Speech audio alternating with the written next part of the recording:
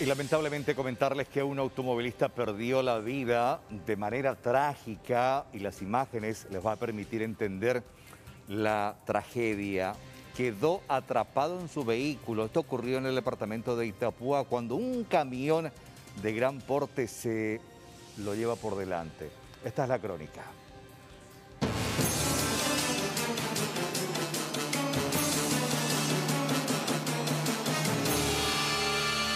El accidente de tránsito con derivación fatal fue nuevamente sobre la ruta nacional número 6. Involucró a un automovilista que fue embestido de manera violenta por una Scania. El conductor afirmó a las autoridades de que el automóvil circulaba en contramano y que el choque fue inevitable. La víctima quedó atrapada dentro del vehículo y lastimosamente cuando fue rescatada ya perdió la vida.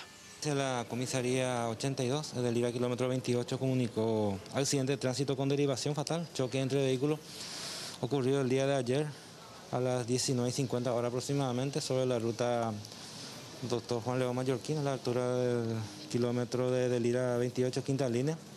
Involucrado un automóvil de la marca Toyota modelo Caldina color blanco con matrícula número ZAU 298 conducido de quien de vida fuera Ramón Vera Mesa, paraguayo mayor de edad, domiciliado en el barrio San José Obrero del distrito de arquitecto Tomás Romero Pereira, acompañado del señor Juan de Dios Mesa, paraguayo mayor de edad, domiciliado en la citada localidad, quien sufrió lesiones y posterior fue derivado al hospital regional de Encarnación. Por otra parte, el camión de la marca Scania, color blanco, con chapa número HAL225 Paraguay, conducido por el señor Blas Antonio Abogado, paraguayo mayor de edad, domiciliado en Tebicuarumí, departamento de Paraguay.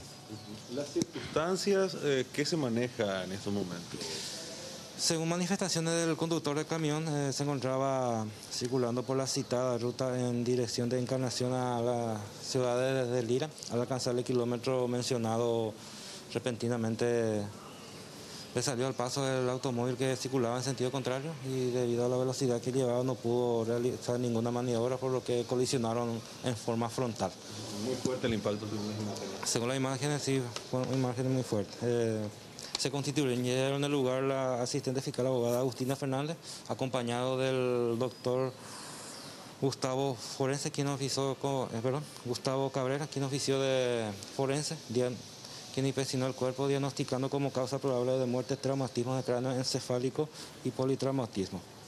Las circunstancias exactas se van a investigar por parte de las autoridades competentes. Lo cierto y lo concreto es que la velocidad y la imprudencia fueron nuevamente factores fundamentales para este percance fatal.